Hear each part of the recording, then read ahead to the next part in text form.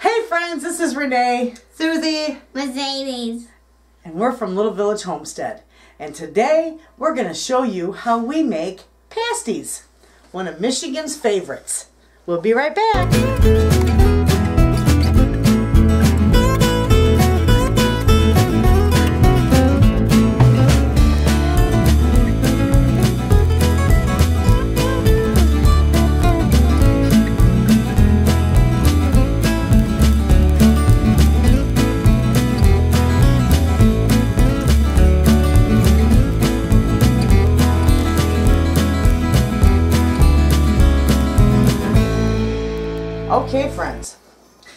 In our pasties, we are going to do, I, people do them different ways, but this is how we do them.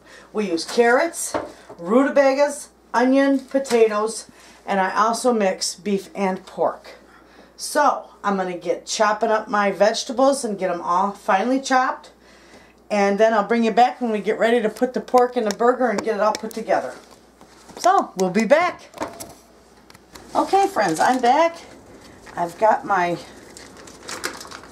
veggies all cut up in nice chunks. Here, I'll show you. Look at all them. Onions, rutabaga, carrots, and potatoes. That's all I got in there. That's all I put in my pasties. So, this, I do my meat. Now, some people take like a hunk of uh, flank steak, for example, and they'll chop it up and shred it up real fine, and they'll use that for their filling.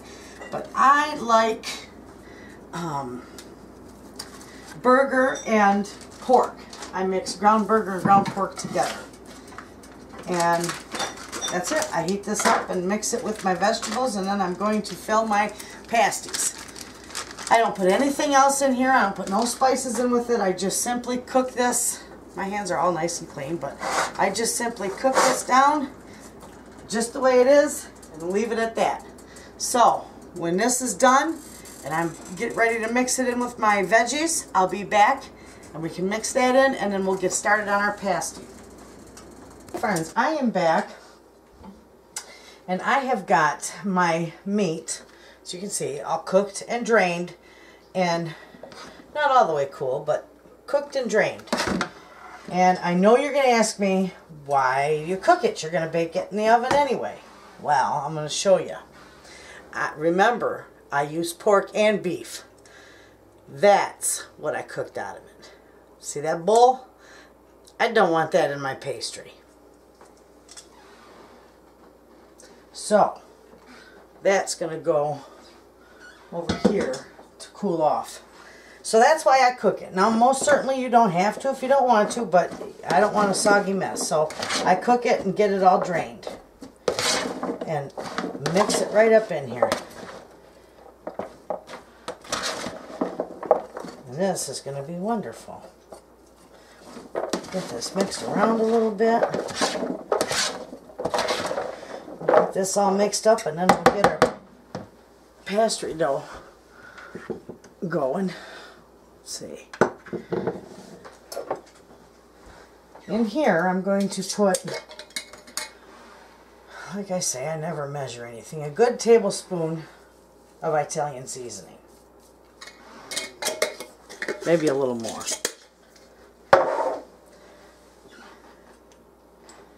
Maybe it was more like two tablespoons. Anyway. And a little bit of my house seasoning. And that's it. That, my friends, is all I put in there.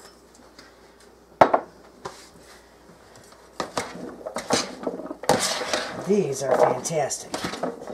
And my family loves them. But you might be wondering why I'm making so many because I'm going to put them in my freezer.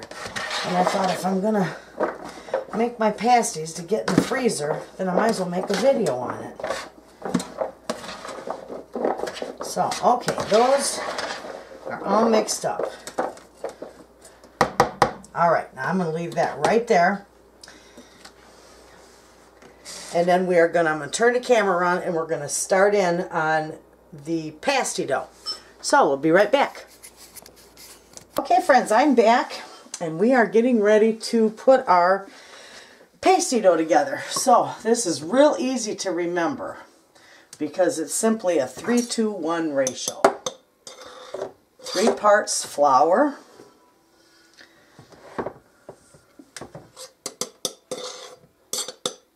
Oh, need a little more in there.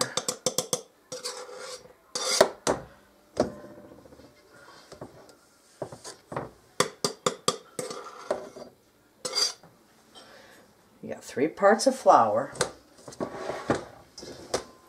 Then we're going to do one part of fat, or two parts of fat. And I've I combined the two. I've got uh, half of cup, half of a cup of butter, and I'm going to do the other and half a cup of shortening. So.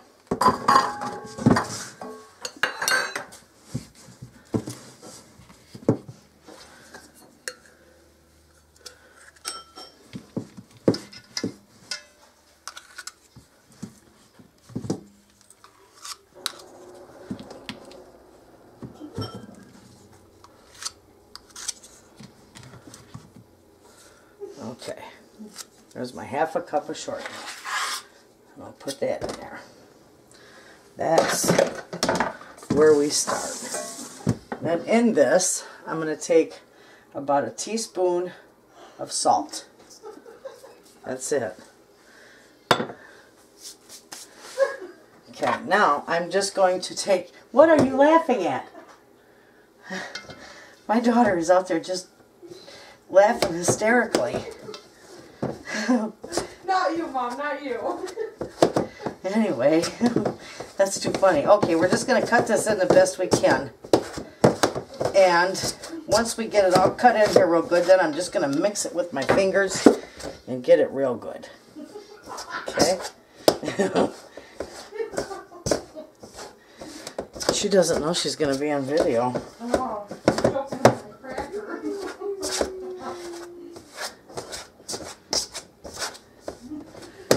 Okay. I got that pretty well cut in. Mm. What is that, Nana? I am making pasty dough. Pasty? Actually, I forgot I gotta take my rings off. Okay. What's pasty? See? You can come right here and see. Oh my god. See? Did I feel it? No, Why? because you didn't wash your hands. You have to wash them.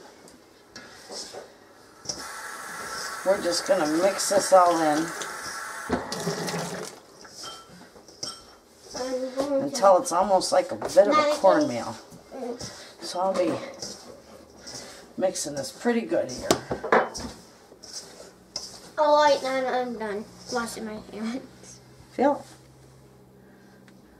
it? Yeah?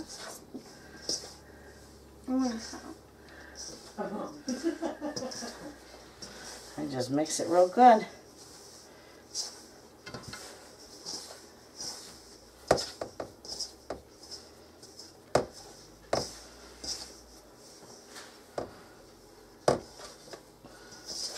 Can I help? You are helping me. I've got a real nice helper. All right, I think that's about Good. good. Now I can put my water in there. Waddle. Okay, you gotta get your pretty little hands out of there. Wash your hands up again. I want to do it with you. Okay, and see how this That is, friends? How that, I've got it mixed pretty good. See that?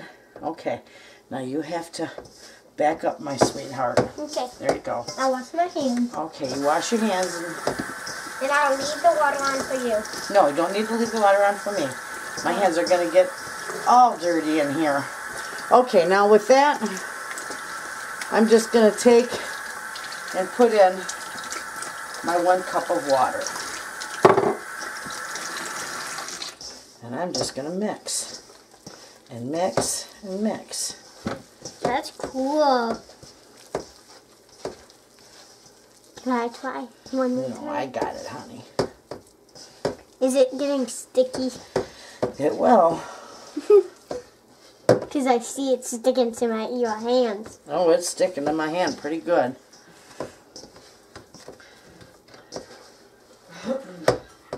What is it gonna taste like? I'm gonna put a little more flour. You might find you need a little more flour, and that's fine. You can add more. Okay, get your fingers out of there, please. Okay. All right, I think that did it. I probably put another quarter cup in there. More water. Nope. It's all good. Now, I got this big bowl. Okay, my sweetheart, you're right in my camera. There we go. I got this big bowl because I'll need it right in here with this.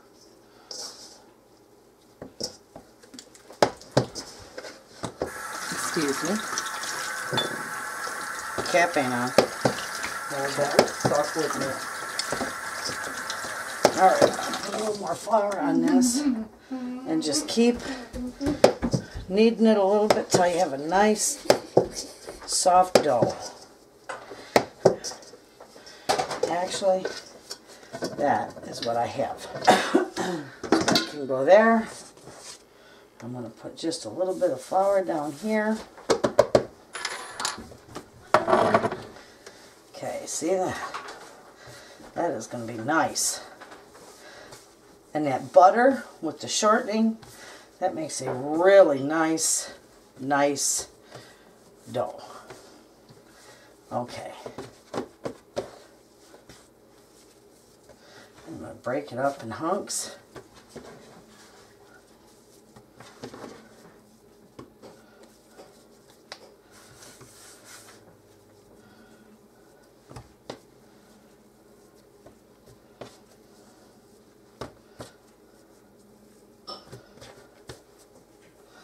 Okay, now I will be ready to roll it out and start filling it. But first I need to clean up my little bit of mess I got here so I have room. I will be back. Okay friends, I am back. Let me put a little, I got my little pastry roller. And this dough is really soft and really nice, so.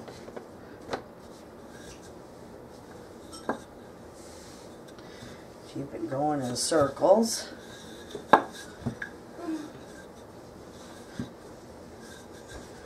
That would be beautiful.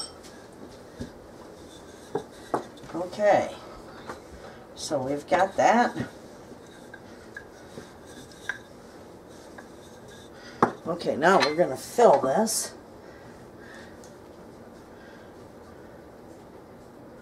I'm going to put a little bit more in there because I like mine full. Because they're going to cook down. So get that all wrapped up in there. Now, I'm going to slide it to the front a little bit. We're going to roll it up in there. Okay? Push down around it. And then just start folding and rolling.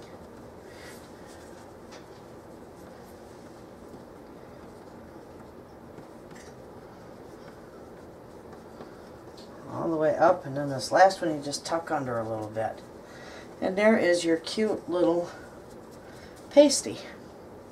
Perfect. Put it on your sheet. I already did one so I got two of them on there. You can see how they look. I'm gonna get the rest of them rolled up and done up and then I'll be back and show you. Actually I'll do one more for you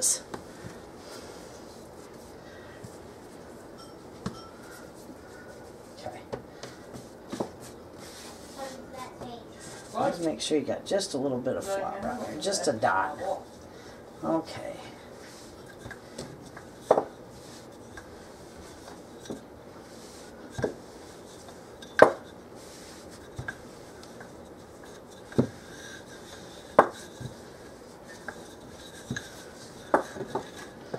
Okay. Nice, nice, nice. All right.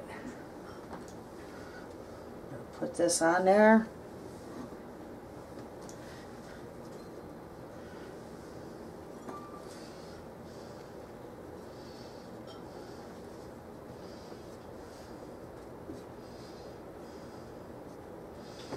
All right.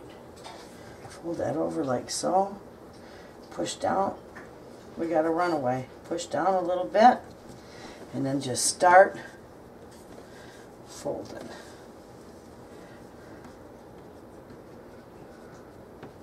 Start rolling it under and it will turn out beautiful. And there you have it. One more. Real easy to do. Okay, so I'm going to get the rest of these done and when I get them all done, I'll be back. Okay, now these are all ready to go in the oven and you know what? I didn't set my oven yet. So I'm going to set it at 350 and I'm going to do a little egg wash. I'll show you that. And I'll do that right now with a nice, pretty fresh egg. There we are. We're going to put just a little dot of water in here. Beat this up real good.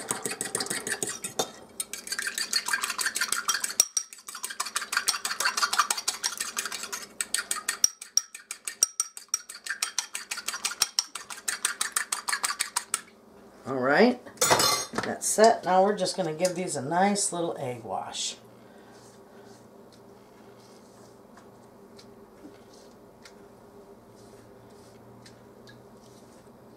These are going to turn out beautiful.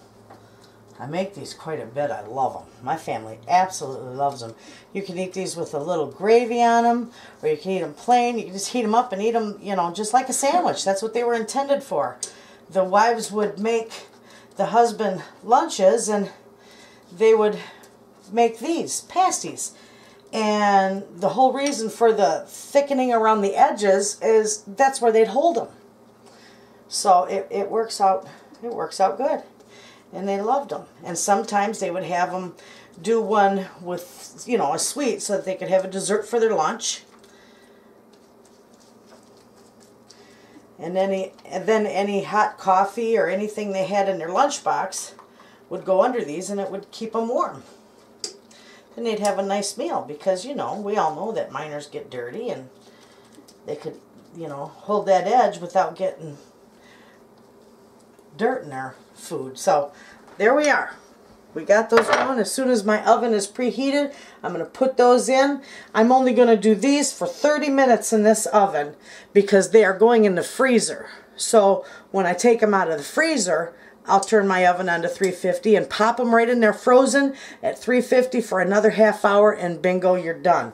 Fantastic. So I will show you these when I get them out of the oven. Okay, friends, there's all my pasties, and they're half baked. That's funny. Anyway, I'm going to put them in the freezer. There's some more in a pan down there. I'm going to put them in a freezer and uh, flash freeze them, and then I'm going to vacuum pack them. And we're going to be all set for the freezer. We'll have pasties for a while. My total amount was 27 pasties. And they are a pretty big size. Look at my hand. So they're, they're about as big as my hand. They're wonderful. And these are good. I usually take and make a gravy to put over them. They're fantastic. So there you have it. Thanks for watching.